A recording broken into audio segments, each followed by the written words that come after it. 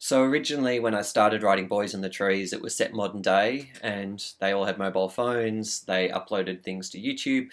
They're on Instagram, and I just found it kind of boring. I found it really undramatic, and things were getting in the way. The technology wasn't helping. So I started to look back to when the last time would have been that these teenagers could have lived off the grid and been on their own, truly alone in the night and I happened upon 1997. And once I started to research that year, it was like a gold mine. There were so many ideas and possibilities that came out of it. I guess the aesthetic of my films comes a lot from what I grew up watching.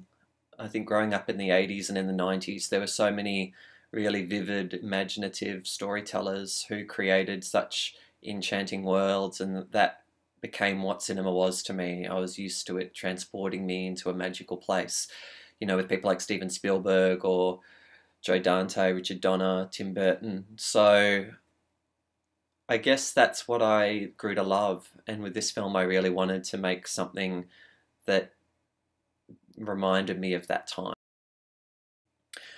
I really enjoy working with younger actors because they're so enthusiastic. They've got so much energy and they their whole lives are ahead of them, so there's no cynicism. They look to the future and they're very positive and they're enjoying learning and forming their paths. So it's really fun to watch that and be a part of it.